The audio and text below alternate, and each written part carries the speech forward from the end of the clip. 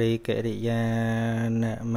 សកាថ្វាយបង្គំនៃខ្ញុំព្រះករុណាចូលមានដល់ព្រះដ៏មានព្រះភិអង្គនោះព្រះអង្គជាព្រះអរហន្តដ៏ប្រសើរទ្រង់ត្រាស់ដឹងនៅញេយធម៌ទាំងពួងដោយប្រពៃចំពោះព្រះអង្គឥត មានគ្រូអាចារ្យណាប្រដៅព្រះអង្គឡើយអឺជំរាបអ្នករៀនតាមភេកផងថាថ្មបានបង្កើតអាល់ប៊ុមមួយនៅលើភេកដាក់មេរៀនបដិជ្ជៈហ្នឹងតាំងពីដើមរហូតមកជាហ្វូតូចឹងបើចង់បានមេរៀនពីដើមមកចុច នៅលើ page កន្លែង photo កន្លែងរូបភាពហ្នឹងយកអាល់ប៊ុមបដិច្ចសមុបបាទនឹងមាននៅទីហ្នឹងទាំងអស់តាំងពីតពោទី1មករហូតដល់ទី51 50ហើយនឹងចង់សិក្សាពីដើមមកវិញងាយរកចូលទៅក្នុង YouTube ក្នុង YouTube ហ្នឹងបានអាប់ឡូតសារឡើងវិញ Mm-hmm.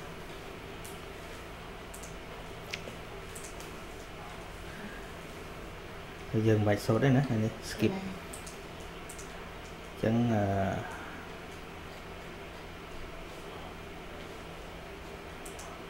នេះជា homework ថ្ងៃមុន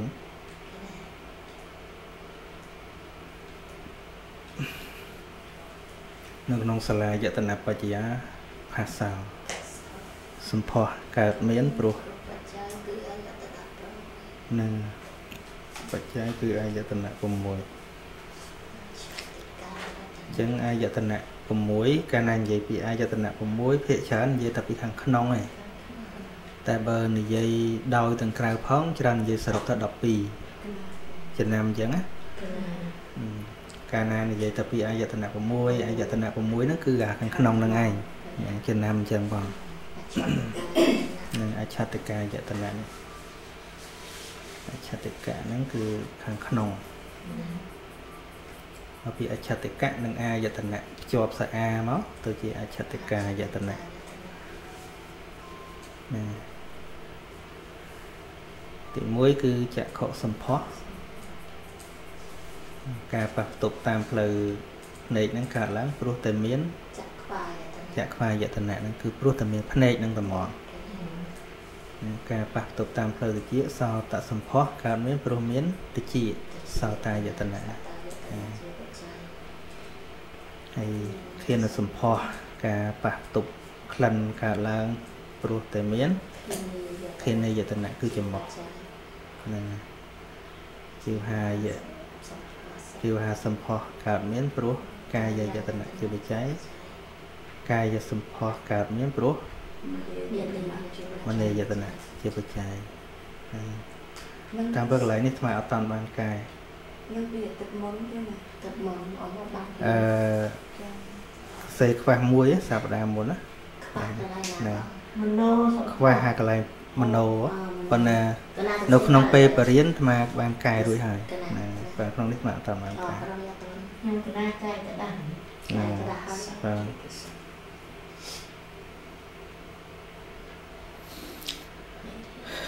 នេះនេះកន្លែងបល័យនេះចក្ខុញ្ចៈបដិចៈរូបេចឧបចតិចៈអឺចក្ខុវិញ្ញាណងតណ្ណងហ្នឹងអឺចក្ខុវិញ្ញាណយើងឲ្យដឹងថាពាក្យហ្នឹងវាចេញពីតណ្ណាផង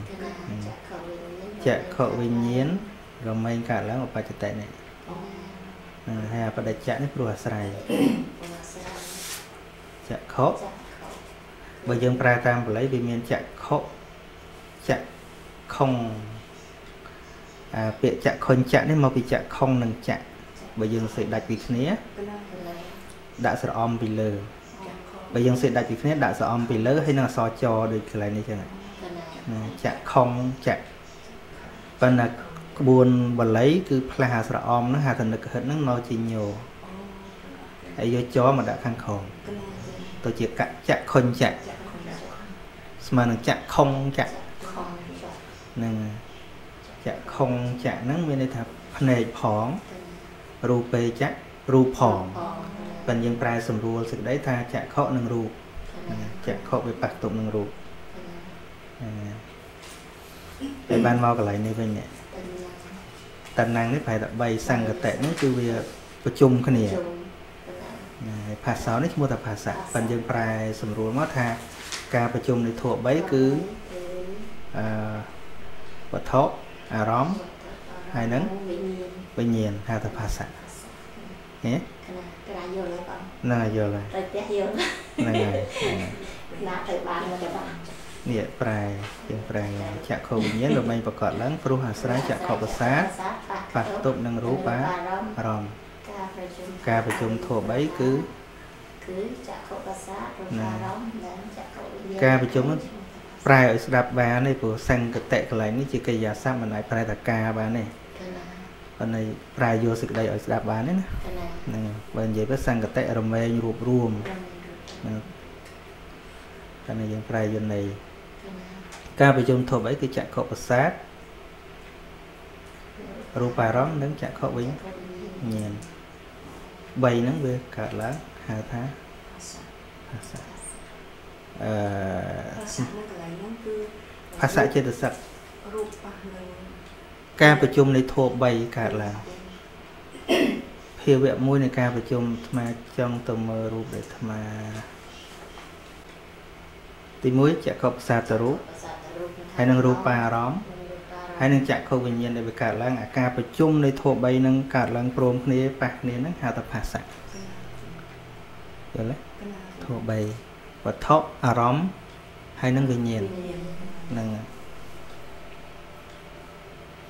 ហើយដល់ទី2សម្លេងនេះជាសោតប្រសាទសោតប្រសាទហ្នឹងគឺសំដៅដល់អាអ៊ីដ្រាមនេះខាងក្នុងហ្នឹងហើយដូចស្គរហ្នឹងកន្លែងតែមែនទេមែនក្រៅហ្នឹង ហើយហើយមនុស្សយើងតែបែកអត់ទៅនេះនៅអាកជាល្អនេះក៏ស្ដាប់លែងលឺដែរអត់លឺហ្នឹងហើយអាអ៊ីដ្រាមអញ្ចឹងបាននៅស្រុកនេះឃើញគេដាក់អមអាហ្នឹងហើយខ្ញុំចាក់គ្រឿងហ្នឹងហើយដាក់ទៅក្នុងជុំហ្នឹងហើយហ្នឹងហើយហ្នឹងហើយនេះអ៊ីដ្រាមកណាដូចស្គរហ្នឹងកន្លែងនេះស្គរហ្នឹងហើយវាញ័រញ័រពេលសលេងមកទិនទិនទិនទិនហ្នឹងហើយអានេះសោតវិញ្ញាណហ្នឹងហើយរួចហើយសោតវិញ្ញាណក៏កើតឡើងទៅនឹងលឺសលេងហ្នឹងហើយ ការប្រជុំនៃធម៌3ហ្នឹងប៉ះគ្នាហ្នឹងហៅថាភាសៈហ្នឹងហើយឃើញទេអញ្ចឹងបើនិយាយតាមបល័យមិញហ្នឹងថាអឺសោតវិញ្ញាណនេះរមែងកើតឡើងព្រោះអាស្រ័យសោតប្រសាទនេះប៉ះផ្ទុបជាមួយនឹងសំឡេង គឺសត្វទារម្មណ៍ឃើញទេកណាអឺទៅជាសោតវិញ្ញាណអាការប្រជុំនៃធម៌3នឹងឯងគឺវត្ថុនេះអាប្រាសាទនេះជាវត្ថុប្រា សាទរូបនេះជាវត្ថុវត្ថុរូបញ៉េហើយនឹងអារម្មណ៍គឺសំឡេងនេះហើយនឹងសោតវិញ្ញាណហ្នឹងការប្រជុំនៃធម៌3ហ្នឹងហៅថាភាសាចាប់បានទេកណាកណាបានខ្លះកណាបានហ្នឹងហើយហ្នឹងអតាមចំោះវាអញ្ចឹងដែរចំោះដែលធំខ្លះមិនមែនរុនចំោះនេះទេនេះនៅនៅខាងក្នុងនេះនៅក្រោមភ្នែកបន្តិចទេកណានេះតែហ្នឹង តែនឹងវាមានដូចរោមរោមទូចទូចទូចទូចនេះធ្លាក់មកនេះពេលក្លិនទៅហ្នឹងវាប៉ះអាហ្នឹងតែខូចអាហ្នឹងលែងធំក្លិនហើយចំមោះស្អាតទៅកែចំមោះឡើងខ្ពស់មិនកើលែងដឹងដែរអ្នកដែលដែលអស់ក្លិនហ្នឹង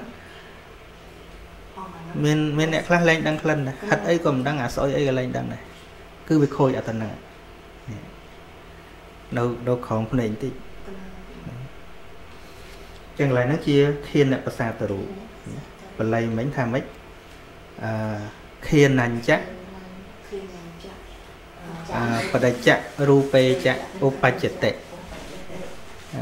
អឺតណ្ណសង្កតិភាសោអឺឆខេនវិញ្ញាណមួយទៀត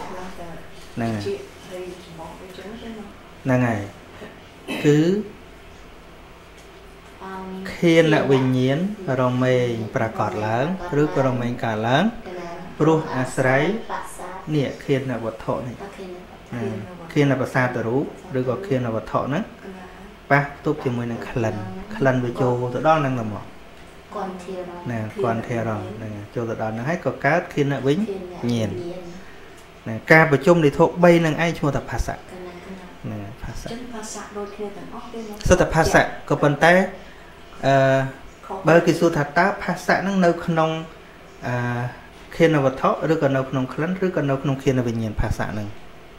បើសួរចឹងអត់ទេជុំក៏តែប្រជុំគ្នាវាប្រជុំគ្នាមែនហើយប៉ុន្តែវាកើតអាស្រ័យនឹងវាវាសម្បយុទ្ធជាមួយនឹងអាណាអូឃើញអឺគ្នាអ្នកវិញ្ញាណជាមួយខេនវិញ្ញាណកណាហ្នឹងហើយហ្នឹងហើយចឹងគឺគេអត់ថាឃើញវត្ថុអស់ទេពួកភាសៈជាចេតសិកខេនប្រសាទហ្នឹងជាខេនវត្ថុហ្នឹងឯង ខេនប្រសាទកាលណាគេនិយាយថាខេនប្រសាទមានន័យថាវាមានលក្ខណៈស្រូបទាញក្លិនអញ្ចឹងណាមិនមែនលក្ខណៈដកហើមចូលទេណាអឺគឺវាវាវាលក្ខណៈស្រូបទាញក្លិនក្លិនមិនមែនខ្យល់ទេណាណាក្លិនជាភាវៈរូបមួយជាសភាវៈរូបមួយផ្សេងក្នុងខ្យល់អត់មានក្លិនទេប៉ុន្តែខ្យល់វានាំក្លិនមកអឺ សូមអត់ទៅទៀតចុះចុះថាទាំង3ហ្នឹងបូកគ្នាបង្កើតជាភាសាហើយហ្នឹងហើយថាភាសាហ្នឹងអឺតែតែជាមួយគ្នាអ្នកវិញ្ញាណអញ្ចឹងមិនថាទាំង3ដែរទេមកព្រោះភាសៈជាចេតសិកវាជាសហជាតិធម៌កណាអូសហជាតិធម៌បើទាំង3ហ្នឹងហៅថាសហជាតិធម៌កណាកើតកើតព្រមគ្នាគ្នាណាអាចនិយាយថាបានកើតព្រមគ្នាប៉ុន្តែមិនមែនកើតមិចចូលគ្នាទេ អត់មិចចូលគ្នាទេហ្នឹងហើយគឺបានកើតបានពេលជាមួយហ្នឹងហើយព្រមគ្នាកណាហៅថាសហជាតិដល់អាសម្បយុទ្ធមិចអូដូចអឺដូចចានហើយនឹងសំសម្លអញ្ចឹងណាកណាគ្រឿងក្រៅ ingredients វាមិចចូលគ្នាកណាហើយនៅក្នុងចានមួយប៉ុន្តែវាមិនអាចមិចចូលចានទេកណាចានដូចជារូបនេះចឹងដូចជាធានវត្ថុចឹងកណាប៉ុន្តែសួរថាវានៅមួយគ្នានៅនៅមួយគ្នានៅ សម្លមួយចានអញ្ចឹងចាននិងសម្លនៅមួយគ្នានៅមួយនៅមួយគ្នាប៉ុន្តែមិចចូលគ្នាអត់ទេ but ingredients grocery អឺនឹងអំបិលប្រហុកស្ករហ្នឹងវានៅមួយទឹកហ្នឹងមួយគ្នាចិត្តដូចជាទឹកហើយនឹងចិត្តសឹកដូចជាគ្រឿងផ្សំហ្នឹងវាមិចចូលគ្នាហើយវានៅក្នុងចានតែមួយកណាអូយល់ទេកណាហ្នឹងហើយហ្នឹងហើយអញ្ចឹងបើគេសួរថាអឺ តើជាតិប្រៃហ្នឹងជាតិប្រៃដូចជាភាសៈហ្នឹងណាកណាវាមិចចូលជាមួយនឹងទឹកឬក៏មិចចូលមួយចានតមិនចូលមួយទឹកកមួយទឹកហ្នឹងហើយដូចគ្នានឹងភាសៈហ្នឹងគឺវាសម្ពយុទ្ធជាមួយចិត្តណានៅក្នុងចិត្តមិនមែនយើងហៅថានៅក្នុងចានគ្រាន់តែជាជារូបភាពនៅក្នុងចានអញ្ចឹងប៉ុន្តែពិតវានៅក្នុងទឹកកណាយល់ទេយល់ហ្នឹងហើយអញ្ចឹងបាននៅក្នុងហ្នឹងថាសំដៅដល់ភាសៈចេតសិកនៅក្នុងខៀនវិញ្ញាណកណាមិនមែននៅក្នុងភាសារូបប្រសាទរូបទេកណាតែវាអាស្រ័យប្រសាទរូបទៅកើតឡើងកណាទៀតហ្នឹងដូចសម្លមួយចានអញ្ចឹងដាក់នៅអំបិលហ្នឹងវានៅក្នុងទឹកកណាតែអាស្រ័យចានទៅវារក្សាបានកណាបើអត់ចានវាអត់ដល់ហ្នឹងហើយហ្នឹងហើយហ្នឹងហើយអឺជីវអ่าបានចាក់អឺកន្លែង ជីវហានញ្ញៈអើជីវហញ្ញៈមិនមែនជីវហានញ្ញៈជីវហញ្ញៈជីវកន្លែងចាក់ជីវហានញ្ញៈអណាជីវហញ្ញៈហ្នឹងចាក់បើជីវហានហ្នឹងវាជាឆាត់ថៃវិផតផ្សេងមានន័យថារបស់របស់អណ្ដាតរបស់អីវិញជីវដល់ជីវហញ្ញៈជាទុតិយាវិផតជា object ជា object បដិច្ចៈ ជា object ហ្នឹងជា object ទេជីវហញ្ញៈបដិចាក់បដិច្ចៈរៈសេចាក់ឧបច្ចតណាជីវចៈឧបច្ចតិជីវហាវិញ្ញាណហ្នឹងតណੰសង្កតិភាសោឃើញទេជីវហាវិញ្ញាណរមែងកើតឡើងនេះឧបច្ចតិនេះបដិច្ចៈព្រោះអាស្រ័យនៅអណ្ដាតផងអ ណ្ដាតគឺជីវហាប្រសាទហ្នឹងហើយភាសាហ្នឹងហើយនឹងរស់រក្សាអារម្មណ៍ហ្នឹងអញ្ចឹងការប្រជុំនៃធម៌3ហ្នឹងឯងគឺវត្ថុនេះជីវហាភាសាហ្នឹងហើយហ្នឹងហើយជីវហាសិនជាវត្ថុហ្នឹងណារសេគឺអារម្មណ៍ណែរក្សាអារម្មណ៍ហើយនឹងជីវហាវិញ្ញាណហ្នឹងឯងឈ្មោះថាភាសៈភាសាហ្នឹងហើយអញ្ចឹងមានន័យថា វាទល់តែគ្រប់គ្រឿងវាបានហៅថាសំឡមួយចានហ្នឹងសុំគ្នាអឺអឺបើយល់បើយល់រឿងចាក់ខកមួយអានេះយល់ហ្នឹងយល់សឹងតែទាំងអស់ហើយយល់តែមួយទៅយល់សឹងទាំងអស់ហើយណាហើយការបដិបត្តិពធប្រចាំថ្ងៃហ្នឹងគឺតាមដានអាហ្នឹងឯងដែលអាត្មាចង់ឲ្យកណាឲ្យយល់អាហ្នឹងមនុស្សច្រើនណាស់សម័យពពុទ្ធសម្រាប់មគ្គផលដោយសារតាមដានអាហ្នឹងឯងកណាបង មិនមែនតាមដានគេទេតាមដានអាហ្នឹងអាហ្នឹងនៅណានៅនេះនៅនេះនៅនេះនៅនេះ6 6កណាជាផ្លូវបញ្ចប់កន្លែងហ្នឹងអង្គទ្វា6ហ្នឹងអាទ្វារ6ហ្នឹងឯងពួកយើងដើរដំណើរតាមមើលខាងក្រៅវាអត់ចប់ទេទោះមើលអាហ្នឹងបានចប់តាមកាយ កាយគឺសំដៅទូទាំងកាយទាំងអស់តាំងពីចុងអឺគល់សក់មិនមែនចុងសក់ទេច្រឡំគល់សក់ទៅដល់បាតជើងកន្លែងណាក៏ដោយឲ្យតែអាចទទួលក្តៅត្រជាក់ទន់រឹងឈឺថ្កាត់ឬក៏សុកស្រួលបាន ជាកាយវត្ថុឬក៏កាយប្រសាទហេតុអីមានចាំទេថាហេតុអីពេលខ្លះហៅថាកាយប្រសាទជាងការហៅថាកាយវត្ថុ កណាមែនមិនបានឆ្ងល់ កណាអត់ កាលណានិយាយថាកាយវត្ថុមានន័យថាវាជាទីកើតនៃកាយវិញ្ញាណសំដៅអញ្ចឹងណាជាជាវត្ថុនឹងស្មើនឹងកន្លែងកន្លែងជាទីកើតនៃវិញ្ញាណហៅថាវត្ថុចឹងភាសាទរូប5ហ្នឹងចក្ខុវត្ថុសោតវត្ថុខានវត្ថុជីវហវត្ថុកាយវត្ថុហតយវត្ថុចឹងកាលណានិយាយថាវត្ថុ មានន័យថាវាជាទីតាំងជាទីកន្លែងនៃការកើតឡើងរបស់វិញ្ញាណណាជារូបប៉ុន្មានលើស្មាសួរថារូបប៉ុន្មានដើរតួជាវត្ថុរូបប៉ុន្មានមិនមែនវត្ថុរូប6ជាវត្ថុអីខ្លះចាក់ខកវត្ថុហ្នឹងហើយរហូតដល់ហត្ថយៈឈ្មោះដើមវិញចក្ខុប្រសាទរូបខានប្រសាទរូបជីវហាប្រសាទរូបកាយប្រសាទរូបហតយវត្ថុ អ่ะមិនអត់ជីវហាវត្ថុមួយទៀតជីវហាប្រសាទរូបកាយប្រសាទរូបនិងហតយវត្ថុរូបអាការហតយហតយហ្នឹងអត់ឈ្មោះថាប្រសាទទេហ្នឹងហៅថាហតយវត្ថុរូបតែម្ដងព្រោះវាអត់ប៉ះជាមួយនឹងរូបខាងក្រៅព្រោះអឺឈ្មោះថាប្រាសាទវាទល់តែសភាពថ្លាដែលអាចស្រូបទាញរូបបានកណានឹងមិនហៅភាសាហៅថាប្រាសាទរូបកណាណា ចក្ខុប្រាសាទរូបកណាធានប្រាសាទរូបដល់រហតយៈមួយអត់មានឈ្មោះថាហតយៈប្រាសាទរូបទេពួកអីវានៅក្នុងវាមានទៅប៉ះក្លិនប៉ះស្អីវាកណាមានន័យថាវាអត់មានសភាពទៅប៉ះជាមួយនឹងរូបស្អីបានទេបានហៅថាហតយៈរូបឬក៏ហតយៈវត្ថុរូបត្មងកណាឈ្មោះវាអត់អត់ប្លែកដូចអា5ខាងដើមទេកណាសូមអត់ទោសទៀតចុះក្រែងវាទទួលការដឹងអារម្មណ៍ដឹងហើយអារម្មណ៍ដែលដឹងតាមមโนទ្វារ ព្រោះវានឹងអត់អាចទៅប៉ះនឹងអារម្មណ៍ផ្ទាល់បានទេអាវត្ថុរូបខាងក្នុងនេះកណាឧទាហរណ៍ថាឥឡូវចិត្តកំពុងគិតដល់ទីក្រុងភ្នំពេញអញ្ចឹងណាកណាចិត្តដែលគិតដល់ទីក្រុងភ្នំពេញសួរថាតើបេះដូងយើងទៅប៉ះភ្នំពេញតាមណាយល់ទេកណាតែបើប្រសាទទៅរូបខាងក្រៅនេះភ្នែកវាទល់តែរូបនឹងមកប្រកបតែហ្មង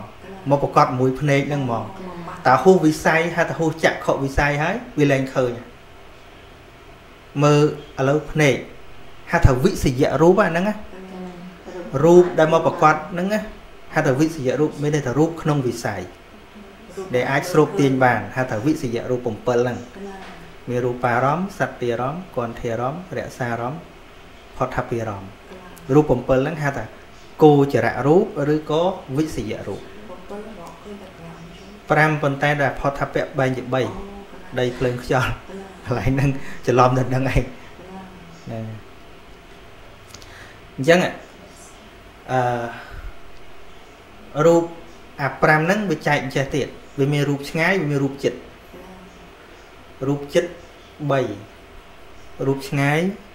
2ដឹងបានពីយ៉ាងងាយដូចជារូបបារម្មណ៍បើញុកដល់ភ្នែកមកអត់ឃើញទេតើឃ្លាតពីភ្នែកបន្តិចបានមើលឃើញឃើញទេទូរេរូប រូបឆ្ងាយតិចចឹងដែរបើញុកភ្លុចទៅដល់នឹងចឹងមកលេងលឺហើយដល់សំឡេងមកពីចងាយតែបើបីនេះតាមច្រមុះតាមដាតតាមកាយទល់ប៉ះមក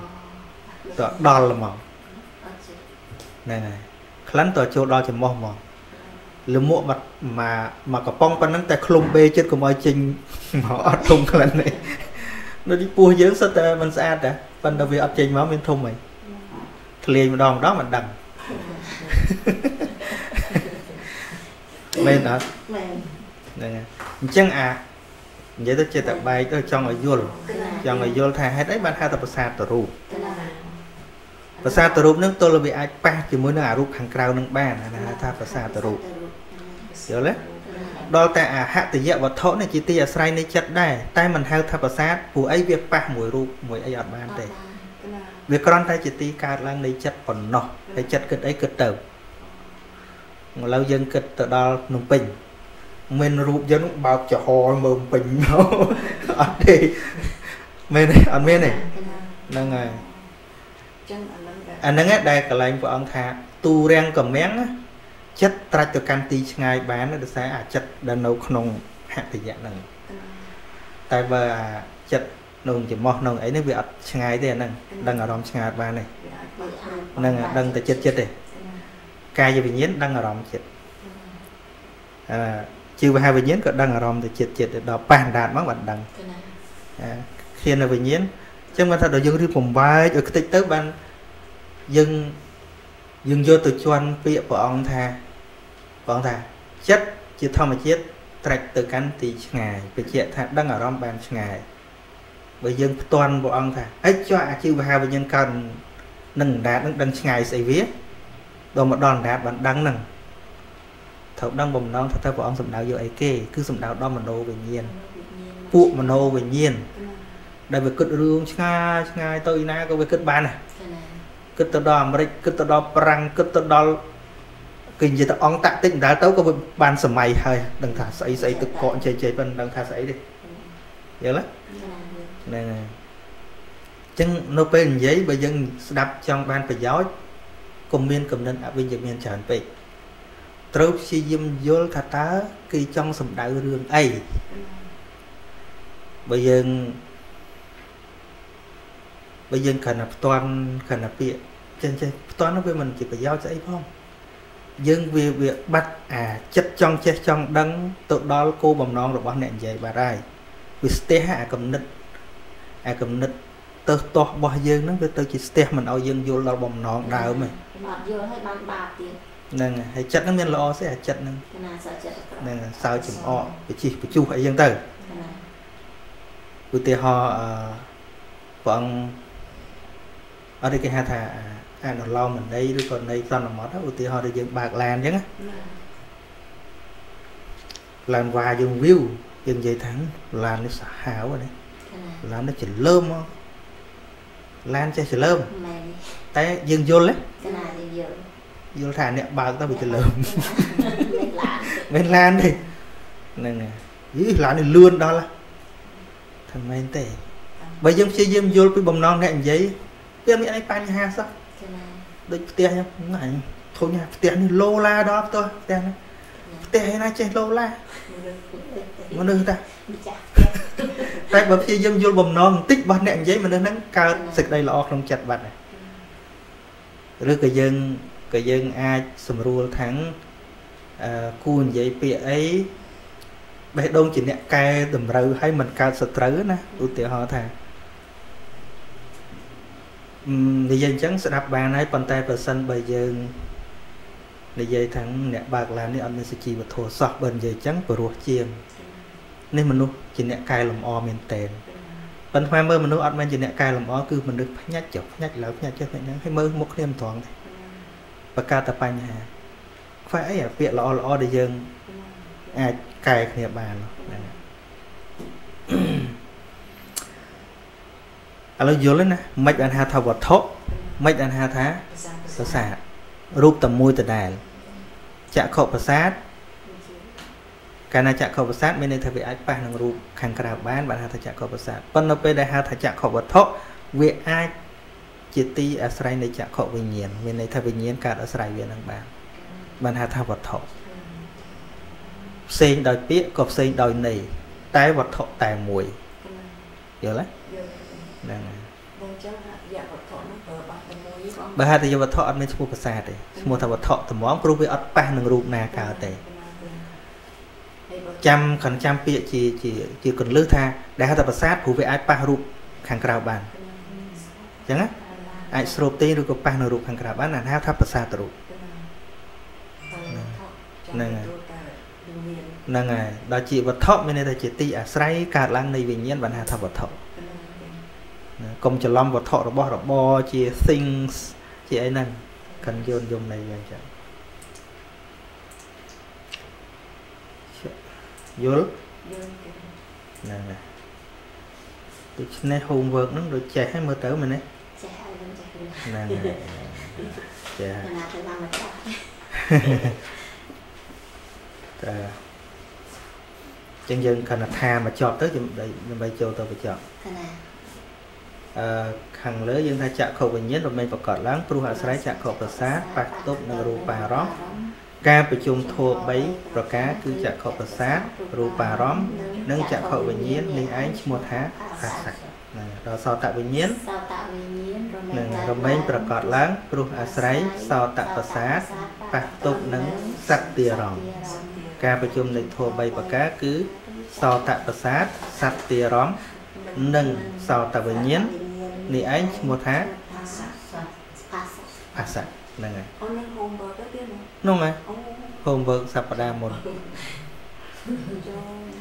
លគេថាខៀនវិញ្ញាណចឹងដែរខៀននៅវិញ្ញាណរមែងប្រកបឡើងព្រោះអាស្រ័យខៀននៅវត្តប្រាសាទប៉ះទប់នឹងគន្ធធារម្មណ៍ការប្រជុំនៃធម៌3គឺខៀនអ្នកប្រាសាទគន្ធធារម្មណ៍និងខៀនអ្នកវិញ្ញាណ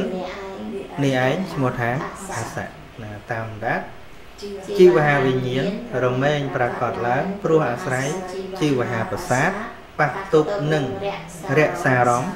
ការប្រជុំនៃធម៌3ប្រការគឺជីវហាប្រាសាទនិងរក្សាអារម្មណ៍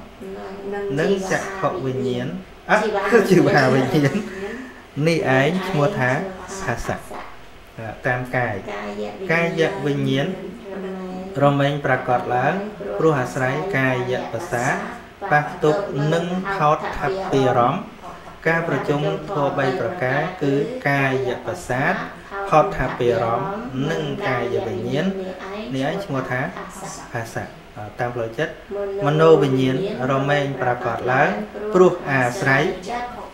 ចិត្តចិត្តឃើញទេអស់ប្រសាទហ៎ឃើញទេ ហ្នឹងហើយ អង្កសា ហ្នឹង អតិយវត្ថុ ហ្នឹងហើយព្រោះអាស្រ័យមโนឬក៏ចិត្ត ចិត្ត អឺ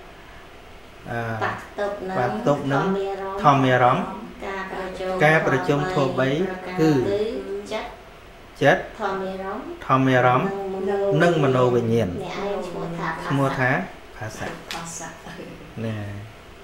អូខេចាំបញ្ចប់ថ្ងៃហ្នឹងណាអរយើងអត់យើងរញ៉ាត់ទៅយើងតែដល់មក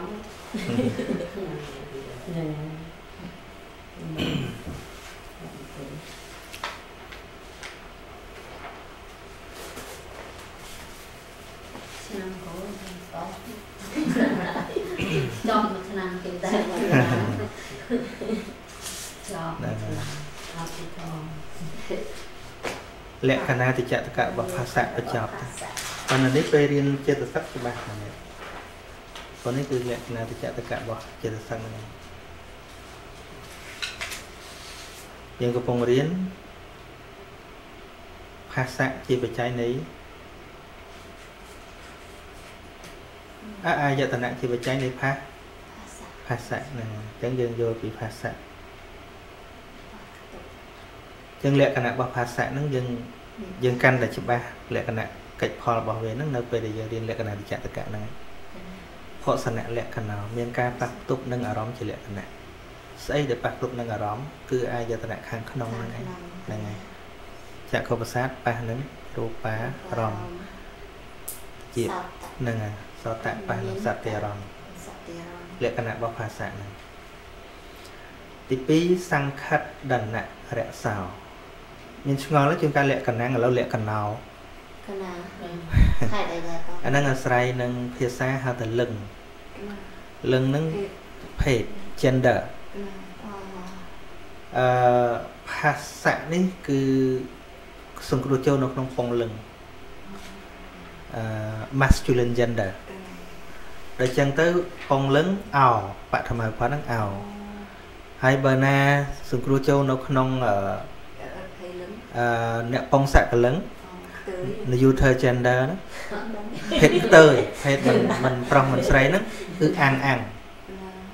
ដោយរក្សាំងរក្សាំងហ្នឹងអាហ្នឹងអត់តែឃើញថារក្សាំងហ្នឹងជាបឋមវិផតហើយមានអាំងនៅពីលើហ្នឹងគឺជាសង្គ្រោះចូលនៅក្នុង neuter gender ជានៅពងសកលឹង ប៉ុន្តែមិនបាច់ទេនាំខ្វល់ហើយចេះភ័យលឹងវាស្អាតដល់ឥតថៃលឹងអាកណាអូប៉ុន្តែវាមិនមែនមានតែមួយទេណាកណានៅក្នុងលឹងមួយមួយហ្នឹងវាមានអាស្រៈទីបំផុតហ្នឹងមានមិនមែនតែអោទៅទេទេមានអករណអាហ្នឹងទៅជាអោទៅអ៊ីករណផ្សេងដូចជាបើដូចរាត្រីបល័យថារតៈមិន មែនអាទេរតៈហ្នឹងគឺបឋមាដែរជាអធិលឹងអឧករណពងលឹងដូចពាក្យថាគរុគ្រូកណាអូឃើញទេគរុអញ្ចឹងអត់មានក្រោទេកណាអត់មានគោឲ្យរស់សអោទេអត់ទេគឺគរុអញ្ចឹងតែហ្មងកណាអបើជាអ៊ូករណវិញដូចជាវិញ្ញូអ្នកប្រាជ្ញចឹងតអត់ទេមានវិញ្ញោអីទេអត់ទេកណាតចំណាំទៅគេណាហ្នឹងតើរៀនកណា ចង់រៀនបល័យហ៎ចង់តាមពិតវេយ្យាករណ៍បល័យហ្នឹងគឺ perfect ហ្មងកណាច្បាស់ជាងអង់គ្លេសទៀតអង់គ្លេសជាងការបលាំងបកោច្រើនណាប៉ុន្តែដោយសារភាសាហ្នឹងវាគេអត់និយាយកណាតាមពិតគ្រប់ម៉ាត់ទាំងអស់នៃភាសាបាលីសិតតែមានធាតុបច្ច័យមានស្អីស្អីផ្សំនៅក្នុងហ្នឹងទាំងអស់ឧទាហរណ៍ថា ករោតៈមួយចឹងទៅវាមានករៈធាតុទៅមានអោបច្ច័យទៅមានតិវត្តមានាទៅប្រជុំគ្នាដើម្បីសម្គាល់ថាហ្នឹងជាបឋមៈជាកិរិយាសព្ទរបស់អឺកម្មវិជ្ជកៈអីចឹងទៅអឺកតវិជ្ជកៈចឹងទៅ voice វាដូចជា passive voice កណា active voice voice នៅក្នុងភាសាបាលីមាន5ក្នុងអង់គ្លេសមានតែដូចទៅពីរ passive voice active voice អស់ហើយប៉ុន្តែបើក្នុងបារាំងនេះមានច្រើនណាស់គេណាប៉ាស ហ្នឹងហើយប៉ាសអង្គគេយើអូខេតោះកុំខ្វល់ចាំមានពីបាលីចាំនិយាយការរៀនបាលីសប្បាយតាសួរគ្នាលើកពាក្យមួយឲ្យរកធាតរកបច្ច័យអញ្ចឹងទៅសប្បាយរៀនអ្នករៀនបាលីក៏សប្បាយរឿងសួរបាលីទៅហើយអ្នករៀនអភិធម្មដូចគ្នាក៏សប្បាយរឿងសន្តានាអភិធម្មដែររឿងសប្បាយរបស់យើងមកកកោប៉ុន្តែយើងមិនចេះរក សង្ខតនៈរសោមានការប្រមូលចិត្តនិងអារម្មណ៍ជាកិច្ចអញ្ចឹងភាសាហ្នឹងគឺវាប្រមូលចិត្តនិងអារម្មណ៍ហ្នឹងវាមានទួនាទីប្រមូលចិត្តនិងអារម្មណ៍ហ្នឹងឲ្យជួបគ្នាកណាហ្នឹងភាសាចេតសិកហ្នឹងកណាណាកិច្ចរបស់វាវាធ្វើឲ្យចិត្តនិងអារម្មណ៍ហ្នឹងជួបគ្នាហើយវិញ្ញាណអីចិត្តហ្នឹងហើយវិញ្ញាណអូចុះគេថាភាសាវិញ្ញាណគឺចិត្តចិត្តគឺវិញ្ញាណភាសាជាចេតសិក ឈ្មោះរបស់ចិត្តមានវេយវចនៈច្រើនណាស់មានពាក្យតហតយៈហ្នឹងក៏ជាវិញ្ញាណដែរចិត្តៈក៏វិញ្ញាណដែរបណ្ដរៈក៏ជាវិញ្ញាណដែរមិនស័កអីអីច្រើនមនោឯមโนអីចឹងទៅវេវចនៈច្រើនសង្កតបច្ចុប្បដ្ឋានោមានការប្រជុំព្រមរវាងវត្ថុអារម្មណ៍និងវិញ្ញាណជាអាការៈប្រកប ដល់ពេលវាប្រមូលវាវាលក្ខណៈហើយមកកិច្ចកិច្ចរបស់វាវាប្រមូលចិត្តនិងអារម្មណ៍ឲ្យជួបគ្នាដល់ពេលវាប៉ះគ្នាទាំងចិត្តទាំងអារម្មណ៍ទាំងវត្ថុជួបគ្នាវាប្រកបឡើងប្រកបឡើងគឺការប្រជុំរវាងវត្ថុ3ហ្នឹងគឺវត្ថុអារម្មណ៍និងវិញ្ញាណណាអាការៈប្រកបរបស់ភាសាដែលយើងនិយាយមិញណាកណាហ្នឹងហើយហើយស្អីជាហេតុគៀកបំផុតដើម្បីឲ្យភាសានឹងកើតឡើង គឺអាយតនៈ6ខាងក្នុងហ្នឹងឯងបើអត់មានភ្នែកអត់មានតិចច្រមុះអណ្ដាតកាយចិត្តភាសានឹងអត់មានកណាសាហ្នឹងហើយហេតុគៀករបស់វាហេតុយ៉ាងចិត្តចិត្តបកើយរបស់វាគឺអាយតនៈខាងក្នុងជាប់ដោយសង្ខេបច្រើនសូមអរគុណណាស់ព្រះអង្គយល់បានខ្លះយល់ខ្លះយល់ខ្លះខ្លះទៅ ខ្មែរដូចខ្មែរថាព្យួរមួយសាសិនអត់តន់រស់ទេហ្នឹងកាន់ព្យួរមួយសាសិនឲ្យញាតញោមឃ្លានខ្លះទៅថាធัวនឹងមានតទៅទៀតថាមានច្រើនណាស់មោះទេប៉ុន្តែសរុបមកវិញមកនៅតែហ្នឹងវល់ហ្នឹងនៃតិចច្មោះណាតកាយចិត្តអត់ទាំងជុំជុំញឹកញឹកហ្នឹងមិនមិនចេញទៅហ្នឹងហ្នឹងហើយហើយញាតញោមសាកមើល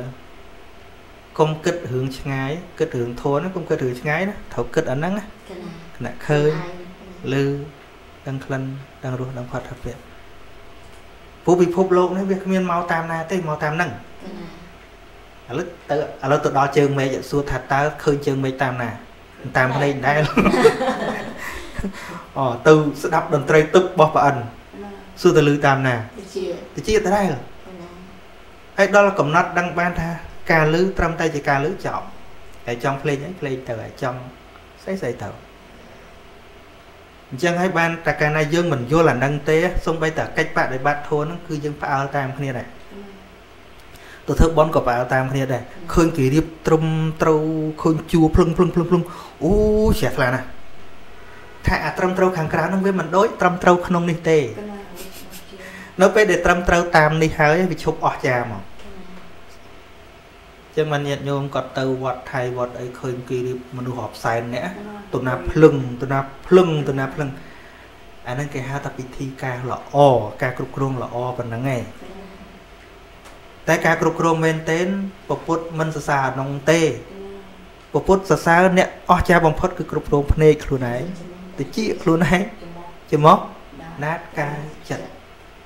ឃើញទេហឹមនិយាយពីព្រះអង្គបច្ចៈហើយបច្ចៈទីបច្ចៈប៉ុន្តែយើងចេះតា ចេះតែមិនព្រមយល់អាហ្នឹងណាចេះចង់បានអីមកបន្ថែមឬខ្វះអីចង់បន្ថែមអីថាអត់មានត្រូវរស់ស្អីបន្ថែមទេដូចមេកយៈចឹងមេកយៈនៅចិត្តព្រះអង្គទៅបិណ្ឌបាតឃើញព្រៃស្វាយឡងស្ងាត់ឈឹងមើលទៅអីអញបើមកធ្វើធួននេះបើឆាប់ស្ងប់ហ្នឹងហើយអាចឆាប់ស្ងប់ឆាប់អស់កិលេស ទៅទៅពីបិណ្ឌបាតទៅវិញទៅទៅសុំព្រះអង្គកាលហ្នឹងអានន្តអត់តាន់បានធ្វើជាឧបថាទេចឹងមិនស្មាចង់និយាយកុំឲ្យជ្រួលច្បល់ធោទៅរយណាក៏អត់លើសពីផ្លូវ6ហ្នឹងដែរដល់ពេលមកវិញសុំព្រះអង្គទាំងបបពុតព្រះអង្គដែលចម្រើនហើយខ្ញុំព្រះអង្គទៅបិណ្ឌបាតឃើញព្រៃស្វាយឡើងស្ងាត់ឈឹងជាទីពូគួរណាស់ហើយណាមួយខ្ញុំព្រះអង្គវានៅមានកិលេស គិតថាបើទៅបប្រតិបត្តិកន្លែងស្ងាត់អញ្ចឹងប្រកាសជាបានស្ងប់ល្អហើយព្រះអង្គព្រះអង្គថាមេលមេកយៈរងចាំសិនទៅចាំមានភិក្ខុណាមួយមកធ្វើការងាររបស់អ្នកចំនួនអ្នកចំណាក់ទៅថ្ងៃហ្នឹងសុំម្ដងអត់បាន ទៅឃើញទៀតចង់ទៀតសុំទៀតសុំទៀតសុំ3ដងបានសុំ3ដងព្រះអង្គថា មនាលមេកយៈបើតថាគតហាម3ដងហើយអ្នកនៅតែទទូចចង់ទៅ អ្នកសម្លឹងកាលគួរចោះព្រះអង្គមានថាទៅទៅទៅណាពាក្យពុទ្ធបរោះហ៎កណាអ្នកសម្លឹងកាលគួរចោះមានន័យថាបើគួរទៅទៅទៅបើបើគិតថាគួរបើយើងស្រួលមកពីសារសាមញ្ញណាបើអ្នកគិតថាគួរទៅក៏ទៅចោះទៅចាប៉ុន្តែក្នុងភាសាព្រះអង្គប្រើថាអ្នកសម្លឹងកាលគួរចោះមានន័យថាជ្រើសរើសខ្លួនឯងសាក់ចឹង ហ្នឹងហើយព្រះអង្គដឹងមុនដឹងថាទៅនឹងអត់ប្រយោជន៍ទេកណាគឺនៅចិត្តដងមេះដងរ៉ែហ្នឹងអត់ព្រមបដិបត្តិនៅណាជាដងមេះដងរ៉ែព្រះសម្មាសម្ពុទ្ធពុទ្ធហ្នឹងហើយមេធัวនៅក្នុងហើយទៅឃើញគល់ស្វាយនៅវិញទៅឃើញទេអេដល់ពេល ដល់ទៅដំបងស្ងប់មែនដល់ស្ងប់យូរយូរយូរយូរអាចិត្តវាស្ងប់ស្ងប់ស្ងប់ទៅស្រាប់តែលោកនឹកឃើញព្រោះអាកន្លែងតាមអត្តកថាសម្ដែងថាកន្លែងអាព្រៃស្វាយហ្នឹងពីមុនជានគរប៉ុន្តែរាប់ពាន់រាប់ម៉ឺនឆ្នាំទៅវាដូរហើយមេកយៈហ្នឹងធ្លាប់ធ្វើស្ដេចនៅនគរហ្នឹងចាំមកសិបើជាពាក់នៅហ្នឹងហ្នឹងហើយកំពុងទៅស្ងប់ស្ងប់ចឹងទៅស្រាប់និមិត្តឃើញនៅខ្លួនឯងជាស្ដេចធ្លោឡើង ដល់ធ្លោឡើងឃើញតាំងអញញ៉ៃអញញ៉ៃឃើញថាកំពុងតាមានស្រីស្នំស្រីអីរំរែកអីអីចឹងទៅស្រាប់តែមានរាជអាមាត្យណាមកចាប់ចោលបានថាព្រះអង្គចោលនេះទៅចឹងទៅបជាឯងយកវាទៅកាត់ក្បាលចោលអញ្ចឹងអាលោភៈក៏កើតអាទោសៈក៏កើតពេលហ្នឹងបោកទីបានភ្ងាខ្លួនមកវិញគាត់ថាអស់ចាអស់ចាព្រះសម្មាសម្ពុទ្ធអស់ចា ដឹងថាអញមកនេះគ្មានប្រយោជន៍អីទេបានដឹងថាគាត់អញហ្នឹងបាត់ដឹងថាអស្ចារ្យហ្នឹងហើយបានវិលទៅរកព្រះអង្គវិញបានព្រះអង្គថាអឺចង់និយាយថាកល្យាណមិត្តនៅចិត្តអ្នកបង្កើយ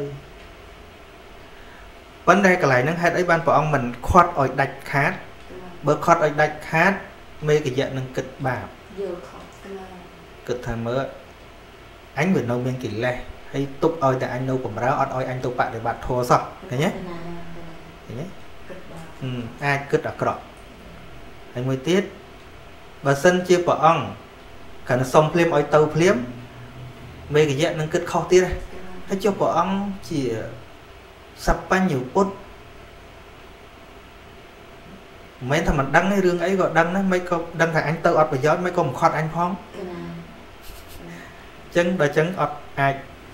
ថាអីព្រះអង្គបានទាំងអស់ខត់ហើយខត់ស្ដាប់ទៅចុះអាត្មារៀនយកពេលគាព្រះអង្គខ្លះខ្លះដែរអាត្មាថាហើយធ្វើធ្វើទៅថាហើយតារឿងរបស់ឯងទៅហ្នឹងហើយអញ្ចឹងនៅពេលដែលឃើញធម៌គឺឃើញសភាវៈទាំងឡាយដែលកើតប្រកបតាមភ្នែកតាមតិចតាមច្រមុះតាមដាប់តាមកាយតាមចិត្តហ្នឹងជាធម្មតា ជាលក្ខណៈត្រៃលក្ខធម៌ ឃើញអញ្ចឹងធម្មតាអញ្ចឹងបានអឺអ្នកដែលពាល់ត្រូវធម៌ពិតប្រកបហ្នឹងជាបុគ្គលមិនមានពៀមិនមានសត្រូវណាក្នុងចិត្តហ្នឹងវាអត់មានពៀវាអត់មានសត្រូវវាអត់ញាប់ញយពីព្រោះឃើញធម្មតានៅក្នុងធម្មជាតិទាំងឡាយរៀនធម្មតាអញ្ចឹងគណៈលឺគណៈឃើញឥឡូវយើងដើរទៅណាឥឡូវតិចទៀតថាទៅភ្នំទៅឃើញហ៎ហឹម ឃើញនេះឃើញនោះលឺនេះលឺនោះរាល់ពេលជាសភាវៈធម៌ដែលកើតជុំវិញប្រកបជីវិតរបស់យើងនឹងឯងហ្នឹងហើយទូចាស់គ្រូត្រៃលក្ខធម៌បានមានថាម៉េចចឹងត្រៃលក្ខហ្នឹងលក្ខណៈ3ហ៎សាមញ្ញលក្ខណៈនោះអនិច្ចំទុក្ខំអនត្តានោះជាងការប្រើពាក្យបច្ចេកទេសទៅយើងច្រឡំត្រៃហ្នឹង3លក្ខហ្នឹងគឺលក្ខណៈតន្តឃាតមួយទៅបានយើងហៅថាត្រៃលក្ខយើងអត់យល់អាហ្នឹងទៅទៀតគេយកអាពាក្យត្រៃលក្ខហ្នឹងទៅ ធ្វើឲ្យមនុស្សវែងពេញប្រទេសឯណាសំពៅត្រៃលក្ខទិញសមុទ្រទៅនៅពៀនឯណាអញ្ចឹងឆ្កុយទៅតែកាលណាមិនយល់បរមត្តនឹងច្បាស់ហើយងាយណាស់ចូលជ្រោះទៅក្នុងស្អីមិនដឹងទេ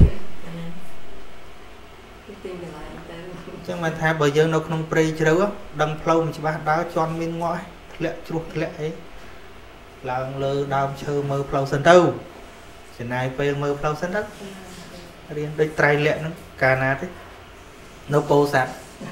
សំពៅត្រៃលក្ខចុះឈ្មោះទៅនៅពៀនគេជិះសំពៅត្រៃលក្ខអូជិះអនិច្ចំហ្នឹងជិះទុកខាងហ្នឹងជិះអនត្តាហ្នឹងថាសពបែបសពយ៉ាងហើយពីហូនលុយទៀតណា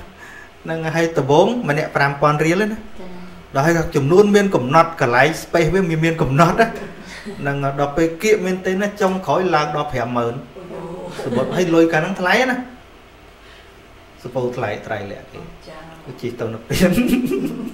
ជីតែបាត់ទៅហើយយើងវាវាគាត់អស់សំណើចទេប៉ុន្តែគាត់ថាបើគាត់មិនយល់គាត់ជឿតាមគេហ្នឹងហើយនឹងធ្វើម៉េចអស់50000យើងដឹងអង្គុយទៅកវីក្បាលចឹងនឹងនឹងប្រាប់ថាម៉េចទេនឹងប្រាប់ពីណាទៅណាទេបានរៀនច្បាស់ដឹងតែខកពិតទៅគេទៅជឿទៅ ដូចត្រៃលោកកោកត្រៃលក្ខគេយកអាហ្នឹងមកសូត្រទៀតហើយក្នុងវត្តវត្ថុបំណងអ្នកតែងមិនអញ្ចឹងណាគឺណាលោកចាស់គឺបកបកលោកត្រៃលក្ខធម៌3អញ្ចាំទុក្ខំអនត្តាឲ្យគេជីទៅហ្នឹងហើយអភិធម្មអបកអភិធម្មនឹងត្រូវហ្នឹងហើយត្រៃលក្ខបានអនិច្ចំគ្រប់យ៉ាងវាមិនទៀមិនទៀងងវាប្រែប្រួលចាណាហ្នឹងហើយកើតហើយរលត់កើតហើយរលត់កើតហើយរលត់គឺណាគ្រប់យ៉ាងគឺណាតែពេលទុក្ខំចាំមើលណាលោក លោកកតរៈធម៌ទាំងអស់មែននវៈលោកតរៈធម៌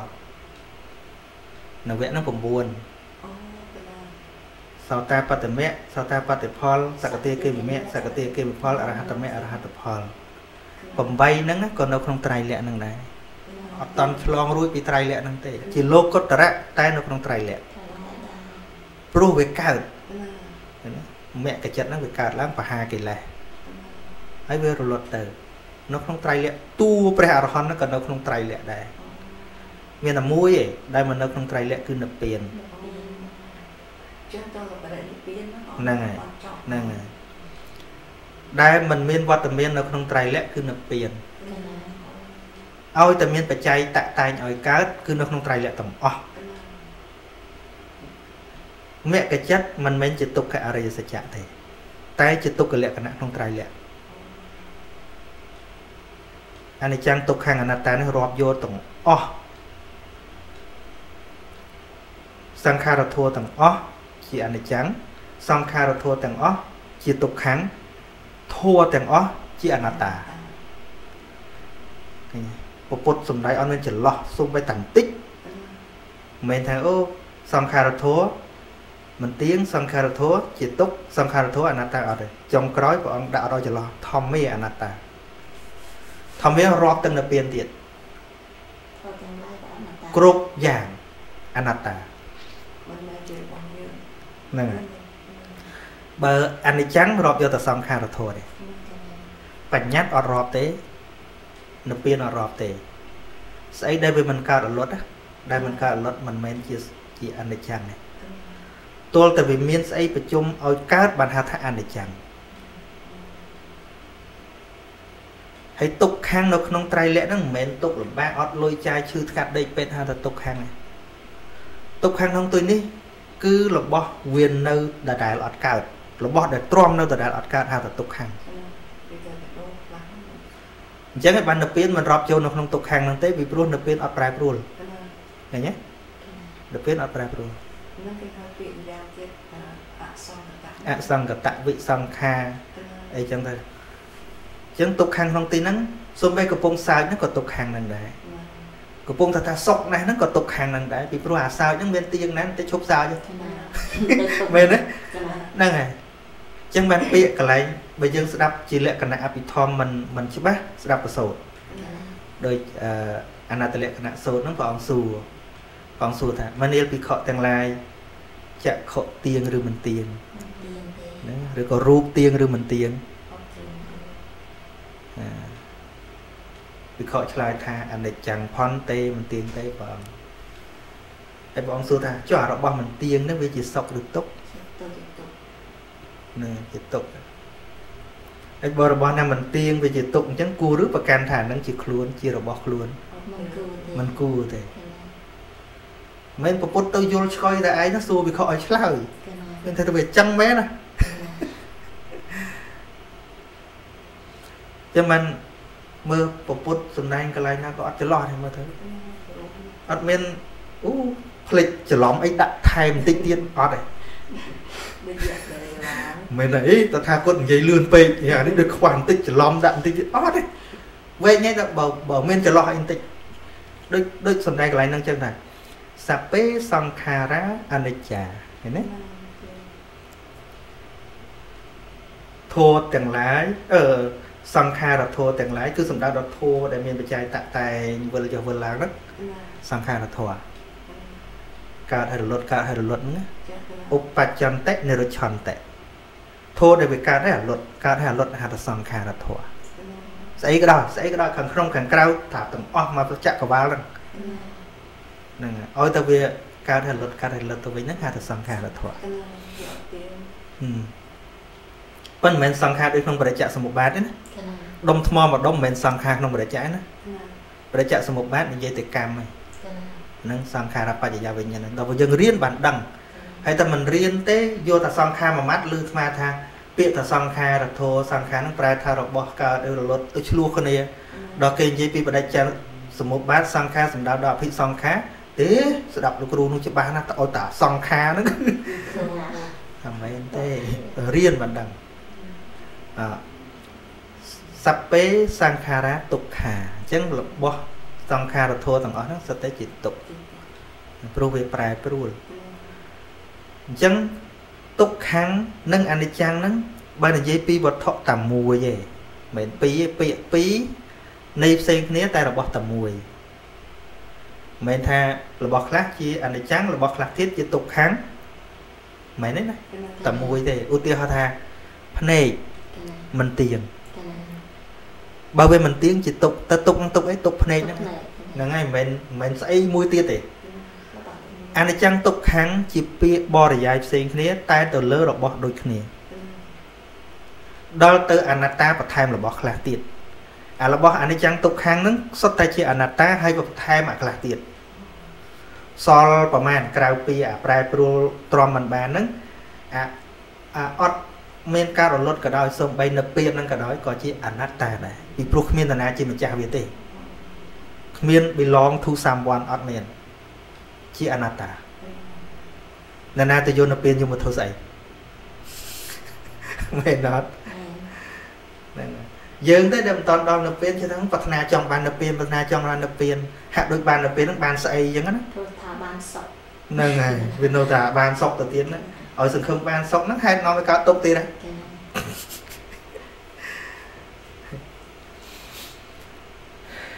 អឺចឹងអានេះចាំតែទឹកក្រោយចឹងណានឹងប៉ុណ្ណឹងចុះ